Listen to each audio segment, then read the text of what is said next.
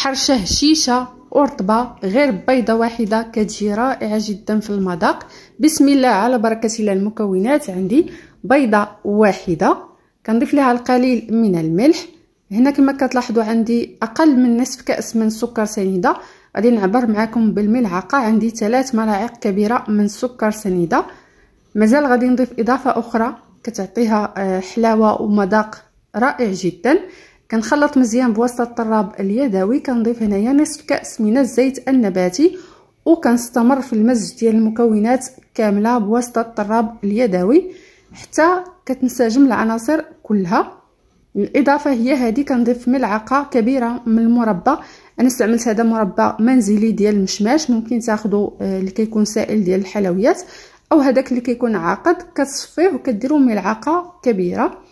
كنخلط كلشي مزيان كنضيف هنايا علبة من الياغورت الطبيعي مسوس وزن 110 غرام كنضيف العلبة كاملة كيخلي هاد الحرشة كتبقى هشيشة ورطبة لأطول مدة كتجي ممتازة بهاد المكونات هادو. كنخلط جيدا كتنسموها باش ما بغيتو إما بسكر فانيلا أو قشور الحامض أو القشور ديال البرتقال. أنا غادي نضيف ليها هنا قشره ديال آه ليمونة حامضة. نحكها في الجهة اللي كتكون رقيقة. وكنخلط كلشي مزيان. عندي السميده الرقيقه هنا غادي نضيف معكم الكاس الأول. السميده الرقيقه الخاصة بالبغرير والحرشة.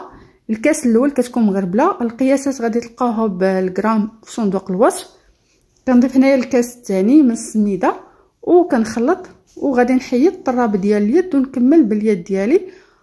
وسمعوا معايا النصائح اللي غادي نذكر لكم بالنسبة للخليطة ديالها.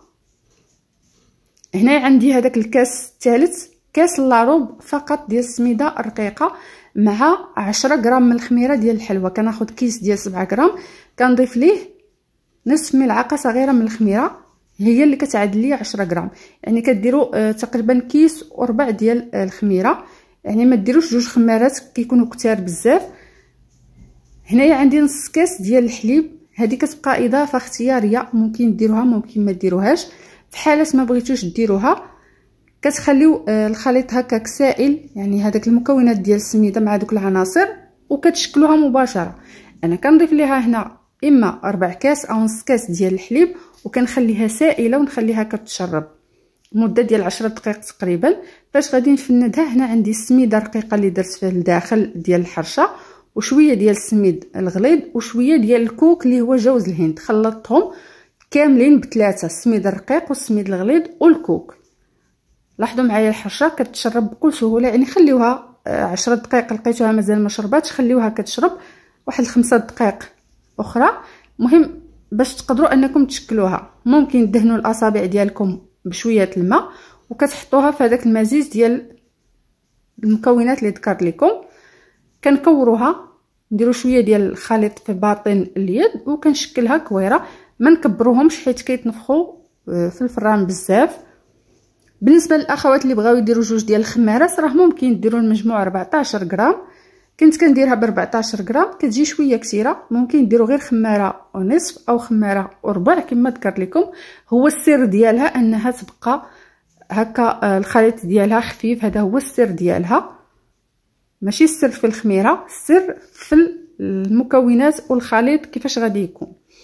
كنشكل كويرات ما نكثرش الكمية باش ما يجيوش كبار.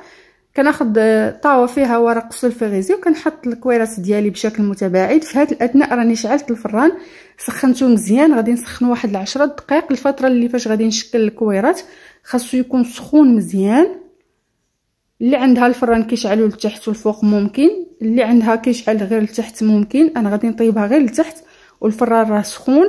بمجرد ما غادي ندخل الطاوة غادي نخلي نار متوسطة. غتبان لي أنها بدات كتشقق. وبدات كتحمر من التحت ومن الجناب كنطلعها شوية الفوق عاد ممكن نشعل ليها شوية باش كتحمر. اللي عندها الفوق والتحت ما غاديش يحتاج أنها غتحطها في الوسط وتخليها كطيب. ما كتاخذش الوقت بزاف كتجي هشيشة ورطبة ومعلكة ورائعة. ولاحظوا كتجي مشقة بحال شي غريبة كتجي ممتازة. الكمية كتعطينا تقريبا 13 أو 14 قطعه لاحظوا معايا الشكل ديالها والقوام ديالها كيفاش كيكون. كتكون رطبة بزاف معلكة ومذاق الحامض رائع جدا.